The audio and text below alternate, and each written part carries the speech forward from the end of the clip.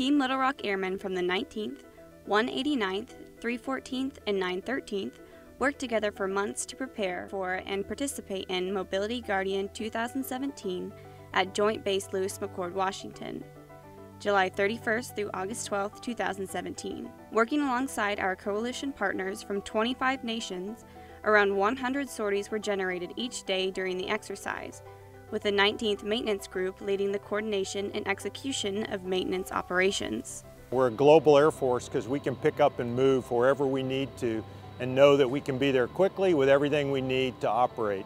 So without AMC, we'd be a regional Air Force.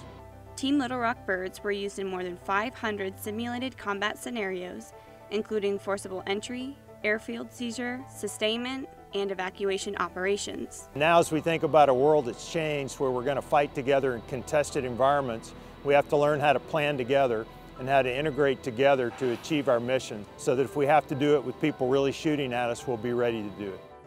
Lessons learned at Mobility Guardian has made Team Little Rock more effectively able to train, equip, and mobilize total force assets to accomplish the mission in current and future combat and disaster relief efforts.